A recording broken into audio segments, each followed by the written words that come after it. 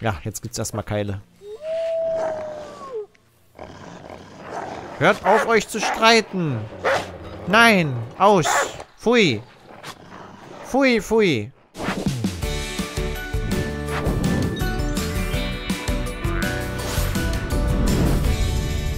Moinsen und herzlich willkommen zurück zu Planet Zoo im Franchise-Modus der Beta. Wir sind hier gerade dabei, weiterzubauen am neuen, besseren Flusspferdgehege. Das Ganze soll wunderschön aussehen und natürlich auch ausbruchsicher sein. Aber das war schon irgendwie auch so ein Highlight damals, wo die Flusspferde da aus dem Gehege rausgeklitscht sind. Das war auch echt lustig. Äh, wenn ihr das noch nicht gesehen haben solltet auf YouTube, weiß nicht, das war glaube ich die zweite Folge sogar schon von der Beta oder die, die dritte. Das war auf jeden Fall eine der ersten Folgen, die da kamen. Das war sehr lustig, wie das Flusspferd da einfach dann schwimmend aus dem Gehege in die Freiheit geschwommen ist einfach. Das muss man auch erstmal drauf haben. Momente, die in Erinnerung bleiben, definitiv. So, jetzt noch ein bisschen glätten hier. Die sollen ja, wie gesagt, auch aus dem Wasser wieder rauskommen. Glätten, glätten, glätten. Dann brauchen wir keine Toiletten. Nicht, dass wir hier irgendwo eine Stelle haben, wo sie wieder nicht rauskommen. Dann kriegen wir wieder Schwierigkeiten hier mit... Tier ist am Verhungern. Tier kommt nicht raus. Ach ja, genau, da fällt mir noch was ein. Wir brauchen ja noch den Pflegelzugang. das habe ich ja wieder ganz vergessen. Oh Gott. Okay, dann müssen wir hier den Teil mal ein bisschen noch auf die Pflegerhöhe einebnen, glaube ich. Weil, wenn wir das hier so unterirdisch machen, müssen wir wieder so eine Trennlinie hier bauen und so. Der kommt ja wieder von unten. Dann he hebe ich das jetzt hier direkt auf diese Höhe an. Dann kommt von da dann der Pfleger. Besser ist es. Glaubt mir. So, dann müssen wir jetzt natürlich wieder, weil das hier wieder rumbackt mit der Bar Barriere, Balustradenjähre, müssen wir das hier wieder wegmachen. Hoffentlich backt es nicht mit dem Weg jetzt. Okay, nee, der Weg ist scheinbar nicht das Problem. Sehr gut. Nicht so sehr, hier ein bisschen, aber es geht noch. Gut, dann wieder die Barriere zumachen. So.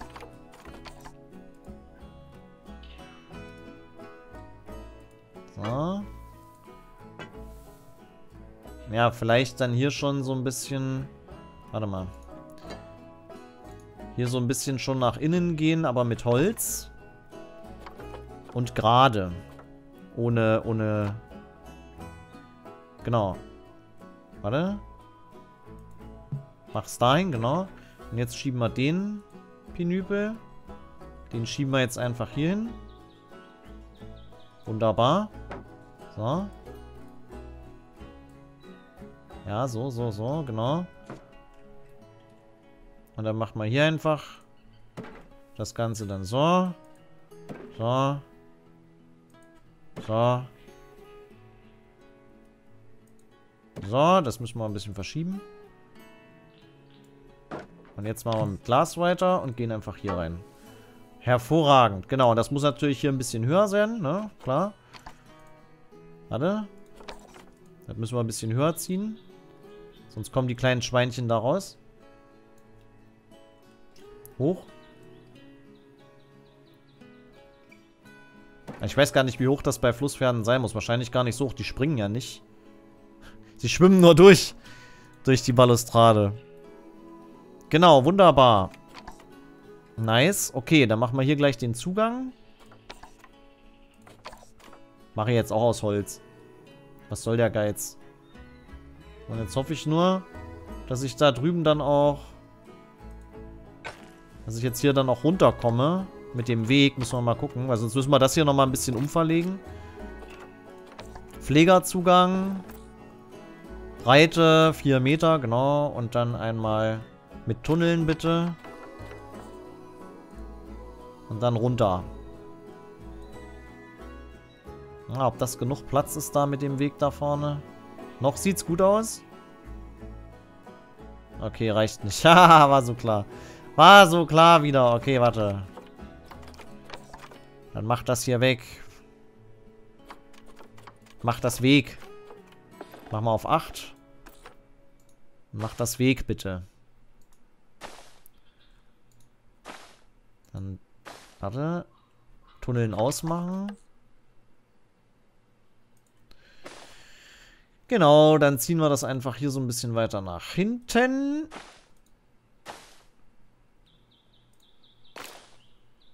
Jetzt müsste es doch eigentlich gehen. Das müssten noch die paar Zentimeter sein. Das sieht auch scheiße aus hier, warte mal. Das kriegen wir noch besser hin. Wenn wir hier jetzt einfach noch ein bisschen... Ja, es sieht ein bisschen besser aus. sieht ein bisschen geplanter aus, ein bisschen gewollter auch. Tunneln und Breite 4 Meter. Ja, dann mach's halt nicht. Dann geh halt nicht runter. Gerade nach vorne, bitte. Mach mal 90 Grad Kurven hier an. Sehr gut, okay. So, jetzt müssen wir mal schauen, wo ist denn jetzt eigentlich der nächstgelegene Pflegerbereich?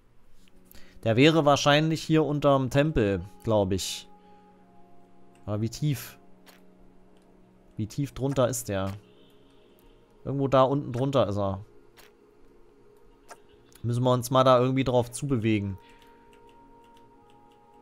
Auf jeden Fall aber noch ein bisschen tiefer gehen. So, jetzt hoch. Und jetzt rüber. Ich glaube so mit der Richtung. Ja, ich glaube da vorne. Sehe ich es nicht da schon? Ich gehe einfach mal geradeaus und guck mal, wo wir langkommen. Ich meine, da vorne irgendwo müssten eigentlich die Pflegergebäude von dem Tempel des Todes sein. Von unserem Fresstempel. Mal schauen. Wo sind wir denn hier gerade? Geh mal raus. Ach du Scheiße. Das zeigt er mir natürlich wieder nicht. Okay, da unten. Da, da, da. Da sind wir gerade. Ja, es müsste glaube ich, kurz davor sein. Meine ich. Das müsste kurz davor sein. Da irgendwo da hinten ist es, genau. Okay, wenn wir jetzt einfach da geradeaus weiterbauen. Okay, hier ist blockiert. Da ist irgendwas. Da gucken wir mal, was ist denn da? Geh runter, genau. Was ist da? Da irgendwas? Ich sehe da nicht. Was soll denn da sein? Vielleicht nochmal rückgängig machen? Nochmal rückgängig machen? Ich sehe halt leider nicht, was da sein soll. Vielleicht mal tiefer gehen? Mal gucken. Ich habe ja gar keine Tunnellampe an, Mensch. Hm, nee, irgendwie... Da sind sie doch. Da waren sie doch. Warte mal. Wo, wo, wo? Hier. Jetzt müssen wir nur irgendwie schauen, wie wir den Weg von hier... Ah, da! Oder? Ist das das? Ach, nee. Ach, das ist das... Ah, ich weiß, was das ist. Das ist die Schiene von dem...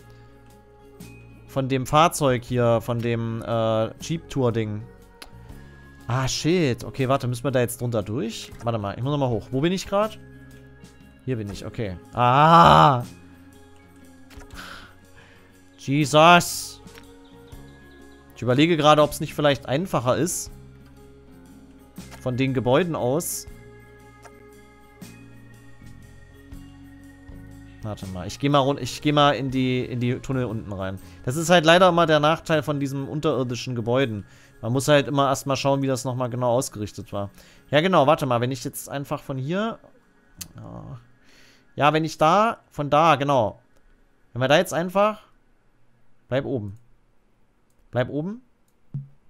Warte. Machen wir es mal, platzieren wir es mal frei. Wenn wir jetzt hier einfach weitergehen und dann so schräg nach hinten. Bisschen tiefer. Bisschen erstmal da unter den unter den Schienen durch. Ah, guck mal. Ja, das ist es hier. Okay, der ist doch gut. Warte mal. Dann muss ich jetzt darüber. Ich bin der Super-Tunnler hier. Warte mal, geh mal da vorne ran. Genau. Und jetzt? Jetzt drehst einfach. Ja. Und du gehst jetzt hoch. Ja. Nice. Wie wir das hier immer hinkriegen, meine lieben Freunde. Denn hier haben wir nämlich alle Einrichtungen, die wir brauchen. Das ist gut. Und der Weg ist gar nicht so weit eigentlich. Wenn ich mir das jetzt... Naja, doch schon. Irgendwie schon, aber geht irgendwie noch. Genau, hier ist dann das Flusspferdgehege. Wunderschön. So, jetzt nochmal Wasser reinfüllen. Gelände. Wasser. Wie hoch können wir denn da jetzt... Ja, das ist doch gut. Hier ist vielleicht ein bisschen... Warte mal. Hier müssen wir ein bisschen steiler machen. Bisschen hier nochmal... Nicht so. Genau, machen wir mal so. Ja, vielleicht doch ein bisschen... Bisschen noch krasser. Genau. Ein bisschen den Überhang halt, ne? Damit die da nicht so in die Verlegenheit kommen, rauszulaufen.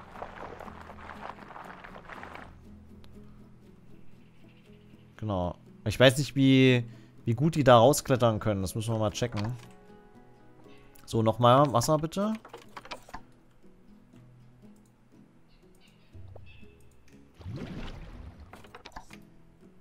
Jetzt muss ich erstmal das Gehege abchecken, ob das so geht. Sieht aber gut aus. Man kann ja zur Not dann noch Felsen auch ran Rand setzen, wenn die irgendwo rauskommen. Aber das ist ein schönes Gehege eigentlich. Und jetzt haben wir hier auch ein bisschen mehr noch Wasserlinie. Ist die Sicht besser für die Besucher. Genau, und von hier oben haben sie eh einen schönen Blick auf die Tiere. Genau. Wunderbar meine lieben Freunde. Wunderbar! Haha! So, jetzt bauen wir uns noch einen schönen Unterschlupf. Moment, da will ich jetzt noch mal gucken. Ähm, Baupläne. Nee. Wir nehmen keinen vorgefertigten, aber das soll... Obwohl, warte mal. Afrikanisch Rückzugsort klein, afrikanisch Rückzugsort mittel. Das sieht eigentlich ganz nice aus. Wenn ich das mal so sagen darf. Aber mit dem Stroh so oben, das finde ich eigentlich ganz schön. Ich würde es schon so ähnlich bauen, tatsächlich. Auch so mit den Stämmen, das finde ich eigentlich ganz nice. Ach komm, lasst uns den benutzen. Der ist irgendwie schön. Ich weiß auch nicht. Ist zumindest besser als diese vordefinierten. Bauen wir den jetzt hier hinten hin? Es wäre natürlich schon irgendwie nice, wenn die sich auch ein bisschen durchs Gehege bewegen müssen. Also wenn wir hier hinten die Schlafmöglichkeiten bauen, aber die Essen- und Trinkenmöglichkeiten eher da hinten hin und die Spielmöglichkeiten vielleicht eher so dahin, wo es Wasser ist. Dass sie so ein bisschen sich bewegen müssen. Dass wir sie dazu zwingen, sich zu bewegen. Okay, dann machen wir mal die Filter an. Art und sagen mal Flusspferd. Genau, das wäre dann, und dann machen wir, weil es ja viele Flusspferde sind, machen wir hier gleich mal zwei Futterstellen hin. Genau, Futterspenderfässer und so, das machen wir alles hier hin. Diese Reiben, genau, Reibesäule und so, die kommt eher dann so hier hin. Und hier hin. Auch die Sprinkler und so, die kommen eher hier hin. Und hier hin, gut, Wasser und so, das möchte ich dann schon ein bisschen näher also ein bisschen mehr verteilen, dass die wirklich überall trinken können. Das ist nicht, dass sie nicht, wenn sie da hinten sind, um zu fressen, dann da auf dem Weg dahin verdursten, weil sie hier wieder hierher zurück müssen wegen Wasser oder so. Dass wir hier wirklich den überall Wasser hinstellen. Ich meine, gut, sie könnten auch aus dem Wasser trinken, theoretisch, aber egal. So genau, dann haben wir hier noch diesen Kegel. Den stellen wir den auch hier hin. Und auch nochmal hier einen hin. Ins Wasser kann ich den ja nicht stellen, oder? Oder kann ich den auch ins Wasser stellen? Nee, der, der schwimmt ja dann glaube ich. Aber es geht nicht. Genau. Dann noch eine extra große Schlafmöglichkeit. Hm, oder vielleicht lieber nur eine große. Können die da überhaupt rein? Das sieht irgendwie so klein aus, ich weiß auch nicht. Aber an sich zählen Flusspferde schon als groß? Weiß es nicht. Na gut, aber da haben wir doch jetzt schon mal... Ne, alles Nötige. Dann würde ich jetzt noch einen Arbeitsbereich definieren auf jeden Fall und hier noch Mitarbeiter einstellen. Ist auch noch wichtig. Die brauchen wir auch. so. Mitarbeiter. Erstmal einen Tierpfleger. Dann noch einen Techniker.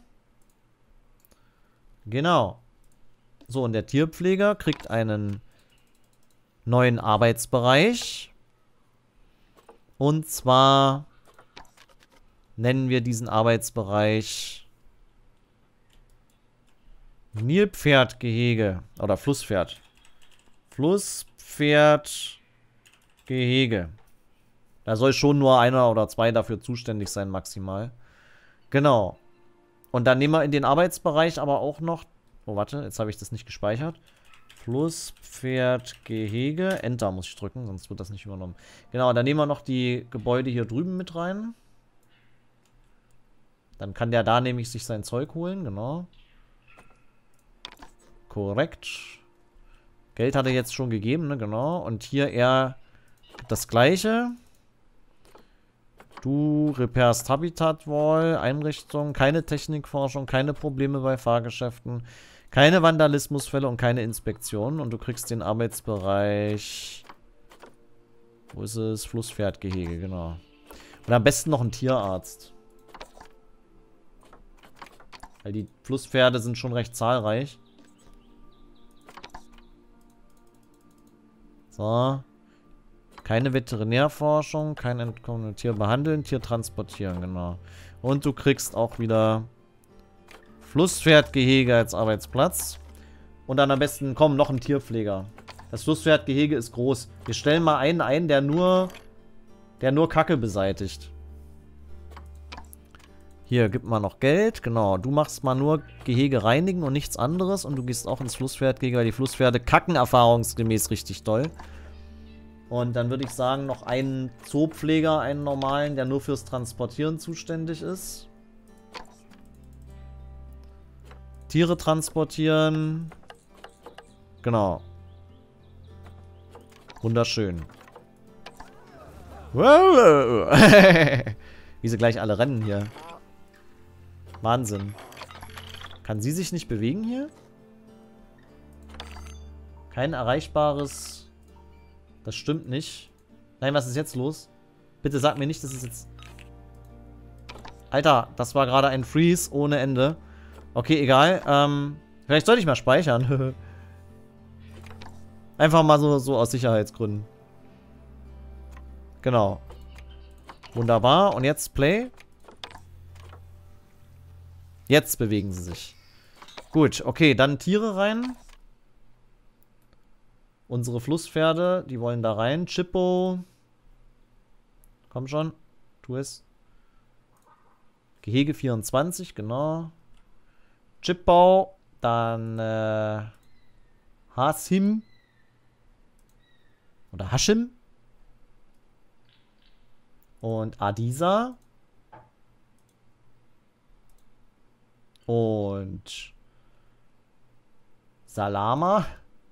Salami würde mir lieber gefallen, ehrlich gesagt. Was? Traumjob? Scheiße Schipper oder was? Ja, natürlich. Hallo? Insbesondere, wenn ihr Scheiße von kleinen Babytieren wegmachen könnt, ey. Das wäre voll der Traumjob. I shit you not. I shit you not vor allem. Herrlich wäre das. Also ganz ehrlich, wenn ich in einem in so ein Panda-Zuchtzentrum zum Beispiel Kacke wegmachen durfte, wäre ich der glücklichste Mensch auf Erden. Wenn ich dann dafür noch Geld bekomme. Warte mal, das Zebra will ich hier reinpacken. Das wäre so super. Will ich freiwillig machen auf jeden Fall. Eigentlich müsste man dafür noch Geld zahlen. Dass man das darf. Dass man von kleinen Panda-Babys Kacke wegmachen darf. Ohne Witz, ne? Müsste echt so sein. Es müsste einfach so sein. Müsste einfach so ein Gesetz geben. Alle, die die Kacke von Panda-Babys wegmachen dürfen, müssen Geld bezahlen. Das wäre doch was für den Tourismus auch. Touristen einfach die Scheiße von den Panda-Babys wegmachen lassen. Hier. Zwei Gegenstände für eine Tierart. Warte mal, haben wir da jetzt besseres Futter für die Elefanten? Warte mal, warte mal, warte mal. Indische Elefanten haben wir jetzt hier. Wir haben besseres Futter, glaube ich, für die jetzt gekriegt. Muss ich mal gucken. Mal kurz gucken. Genau, hier Gehege. Gehegeinhalt. Immer noch Stufe 1. Scheiße, okay. Na naja, gut, da muss die Forschung halt weitergehen, ne? Hilft alles nix. Die Forschung bei indischen Elefanten, die läuft ja noch, oder? Ja, die läuft noch. Aber was genau konkret haben wir denn da jetzt bekommen? Bei den indischen Elefanten. Muss ich jetzt mal nachgucken direkt. Wo sind sie denn jetzt wieder? Ah, Alphabet, da. I. Unter I. Heu haben wir bekommen. Kegel haben wir bekommen. Ach, Kegel. Fußball. Warte mal. Muss mal, ich muss wohl doch mal noch mal hier. Muss man auch mal gucken hier. Flusspferd raus. Indischer Elefant rein. Ist, soll das der große Fußball sein? Kann man den eigentlich einfärben? Nee. Was, was? Dann geben wir den jetzt einfach hier den Fußball noch. Warum ist da eine Kiste im Elefantengehege? Was soll das? Nein! Hahaha! so doch nicht. Goddammit. Doch nicht an die Wand. so ein Quatsch. Genau, und dann hier noch den Kegel. Genau, beenden. Warum ist denn da eine Kiste? Was soll denn der infame Wahnsinn hier? Alle Tiere aus Transportbox holen. Ist wieder Boxenstopp gewesen heute. Was? Wolf schon wieder. Stopp! Wie ist der denn jetzt wieder rausgekommen? Ich raste aus. Ach, und dass immer diese Wiki mit aufgeht, wenn man da draufklickt, ne? Hier jetzt.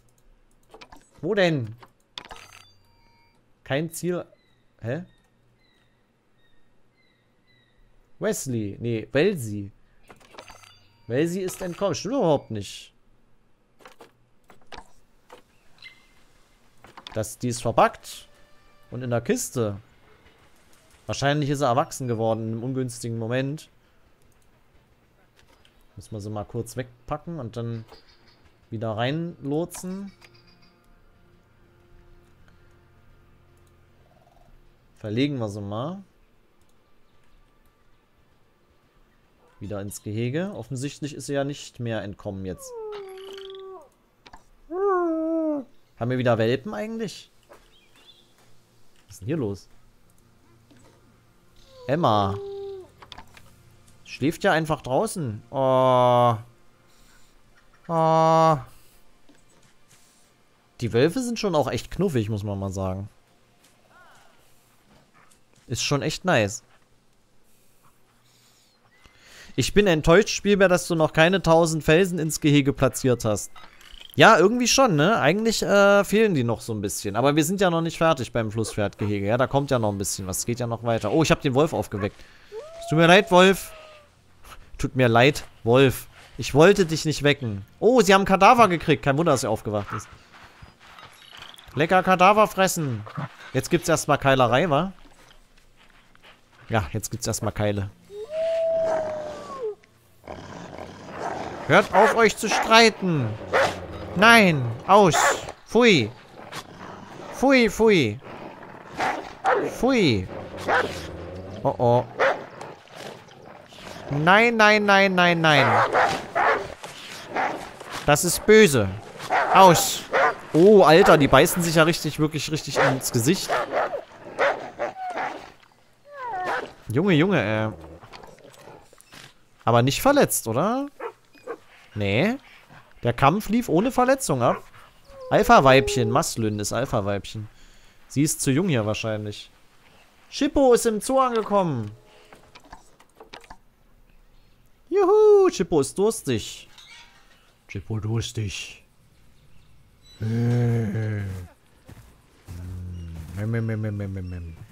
Ja, da ist Wasser, genau. Braver Chippo.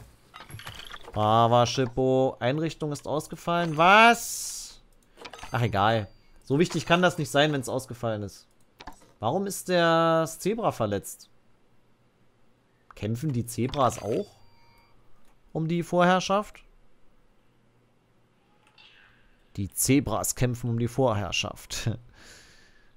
okay, warte. Äh, ich wollte jetzt nochmal rüber. Ich wollte jetzt, genau, ich wollte jetzt erstmal gucken, bevor ich jetzt irgendwas anderes anfange, ob es dem Flusspferd erstmal so an sich gut geht. Nein, tut es nicht. Wir brauchen mehr Erde und mehr, nein, weniger langes Gras. Dann gibt es jetzt hier, wo sie, wo sie spielen und so, machen wir jetzt einfach mal weniger langes Gras. Und hier, wo sie schlafen auch. Was wollen die eigentlich für, für Pflanzen haben?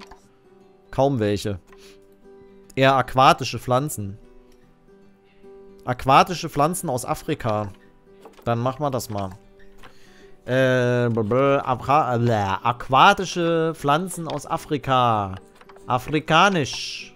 Naja, Afri äh, aquatisch kann ich ja nicht filtern, lustigerweise. Aber das sind wahrscheinlich die Schilfrohrstauden. Die hier nicht aufgelistet werden, lol. Ist euer Ernst, oder was? Na okay, dann eben Papyrus. Dann eben halt der Papyrus. Warte mal, ich will das nicht so krass neigen. Ja, ich will das lieber eher so haben.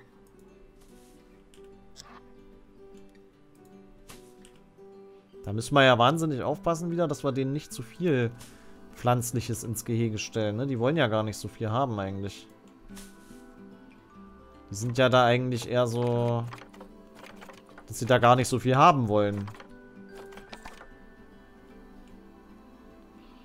Hier mal noch ein bisschen was rein.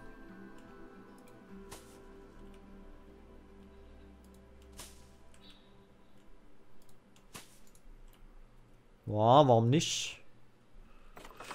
Was für Bäume wollen sie denn eigentlich hier so? Ah, Hakendorn, Akazie. Ach ja, die Dinger. Ja gut, da können wir mal was Größeres nehmen an sich. Aber so große gibt es da gar nicht, merke ich gerade. Was ist denn hier mit Mangroven und so diesen typischen Flusspflanzen? Ist auch nix hier. Was ist denn das, ey? Echter Papyrus. Hier so ein paar, paar Pflänzchen. Baumfarn. Dann können wir da so ein bisschen drumrum drapieren. Nicht so weit da rein. Nicht so weit in die Wand. Das ist nicht gewollt.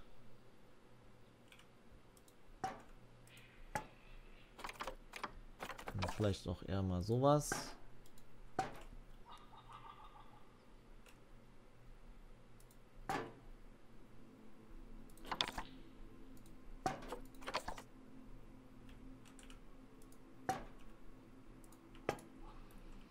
Ja, aber gar nicht schlecht eigentlich. Gut, da haben wir jetzt nicht so viel Auswahl bei den Flusspferden irgendwie. Vielleicht irgendwas Größeres mal so ein bisschen hier. Ja, das nimmt halt so wahnsinnig die Sicht, dieser Baum, ne? Aber vielleicht hier so, so hinten. Hinterm Haus so. Ist doch ganz schön eigentlich. Und vielleicht, wenn es die Sicht nimmt, können wir es ja hier hinten aufstellen eigentlich. So hier so, dass man das nicht sieht hier.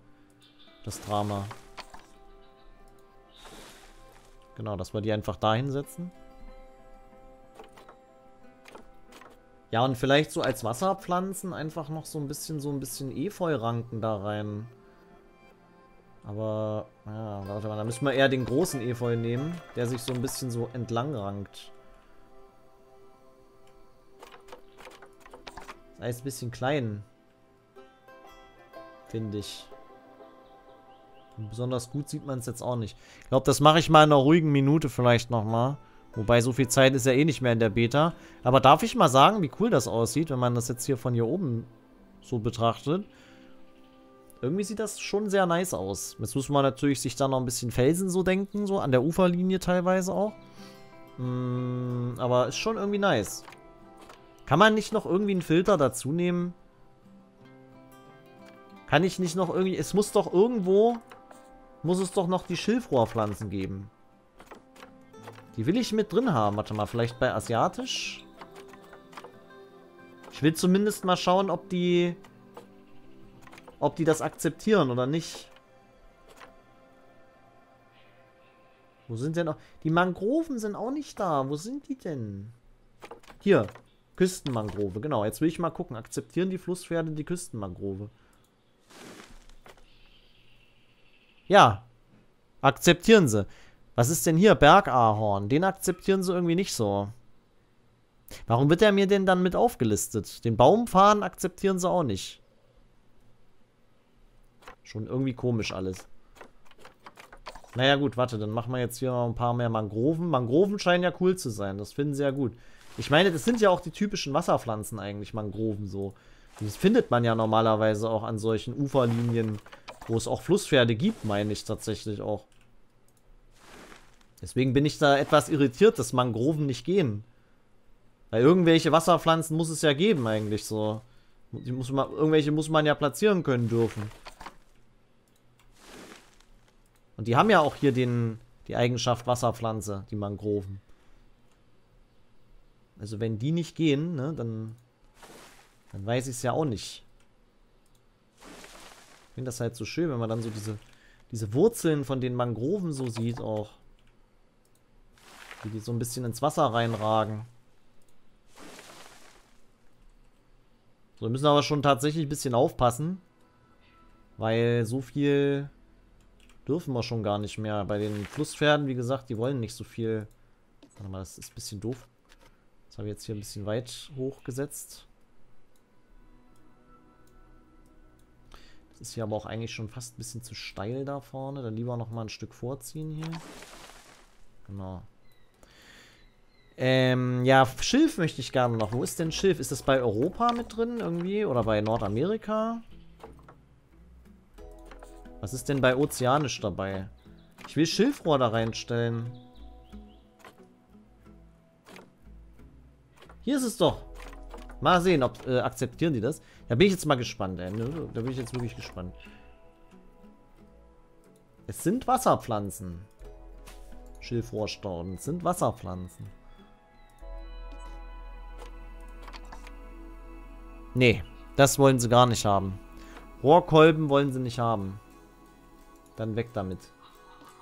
Dann, dann hilft das nichts. Dann müssen wir den rausnehmen. Wenn sie es nicht wollen, wollen sie es nicht. Vielleicht noch ein bisschen was Toteres hier. Was ist denn mit... Was ist das denn? Wo Dieta? Ach, Palmen. Die habe ich noch gar nicht platziert. Mögt ihr die? Mögt ihr die Palmen? Rodieta, nee. Also alles, was aus Europa und Ozeanien kommt, mögen sie gar nicht, tatsächlich. Da, finden, da sind sie irgendwie nicht gut drauf zu sprechen. Okay, dann nehmen wir die wieder weg halt. Dann lassen wir die erstmal raus. Dann lassen wir erstmal nur das drin, was wir jetzt haben. Aber immerhin die Mangroven gehen. Wenigstens etwas. So, dann lasse ich mal die Zeit laufen, meine lieben Freunde. Und dann gucken wir mal, was haben wir denn hier noch? Genau, äh, was ist noch nicht so gut? Sozialverhalten, ja gut, da kommen ja noch welche. Ernährung, genau, warte mal, können wir denen noch ein besseres Futter irgendwie zufällig ins Gehege geben? Ne, da müssen wir forschen wieder, genau. Dann lasse ich mal die Zeit laufen. Haben wir denn schon wieder eine Veterinärforschung irgendwie bekommen? Ah, wie es wieder freeze, wenn man die, wenn man Play drückt, äh, unglaublich. Unglaublich. Aha, okay. Äh, was war jetzt genau? Veterinärforschung? Nee. Die Pfauen sind auch gerade mal auf Stufe 1 immer noch die Forschung. Meine Güte, ey. Ein Warzenschwein ist gestorben. So, dann beobachten wir mal unser Flusspferd. Da müssten ja gleich noch ein paar mehr kommen. Hehe. Wir haben wieder Flusspferde. Also ich bin mal gespannt, ob die irgendwo rauskommen aus dem Gehege. Bin ich mal echt mega gespannt jetzt. Ja, da ist noch eins. Das zweite Flusspferd. Sauber. Wasseraufbereitung nicht vergessen. Ja, ja, stimmt. Die machen wir dann einfach unten drunter. Das passt schon. Wir haben ja da jetzt einen Tunnel. Da können wir die ja einfach ranbauen. Das dauert ja ein bisschen, bis das Wasser schmutzig wird. Wir sind ja da nicht unter Zeitdruck. Außerdem gibt es eh noch keine Krankheiten. Ja, guck mal, sie laufen unter Wasser. Genauso, wie ich mir das vorgestellt habe. Ja, der andere kommt auch gleich dazu. Sauber. Ja, schön zum Fenster, genau. Dann können euch die Leute gucken. Nein, nicht rausgehen. Nicht wieder rausgehen. Nein. Nein. Bleibst du drin? Mach es wie... Mach es wie dein Kollege. Ach, du dickes Gerät. Du willst nicht hören. Kann einfach nicht wahr sein. Hier. Ich will sehen, wie sich die Fettmassen unter Wasser bewegen. Jawohl. Wie beim Gesundheitsschwimmen. Sehr schön. Juhu! Fluss im Pferde. Oder Pferd im Fluss. Na, guck mal, da sind die, die Mangroven. Das sieht doch ganz anders aus auch gleich, wenn man die so von unter Wasser sehen kann. Da kommen sie raus. Jetzt sind sie nass. wow, wo rennt er denn jetzt hin hier? Zum Trinken, wa? Er rennt zum Trinken, glaube ich. Oder? Nee, er will pennen. Kommt ihr da durch? Kommt ihr da rein? Sieht so aus, oder? Die kommen da durch. Und an der Stelle ist diese Folge Planet Zoo auch wieder zu Ende. Wenn es euch gefallen hat, lasst gerne einen Daumen nach oben da. Schaut auch gerne mal in die anderen Videos rein, die an dieser Stelle verlinkt sind. Oder abonniert gerne meinen Kanal und aktiviert die Benachrichtigungen, damit ihr kein Video mehr verpasst. Es kommen täglich Videos auch zu Planet Zoo, aber auch zu anderen Let's Plays. Also abonnieren und Glocke aktivieren. Und dann geht's weiter in der nächsten Folge Planet Zoo im Franchise-Modus der Beta. Bis dann, ciao, ciao. Oh!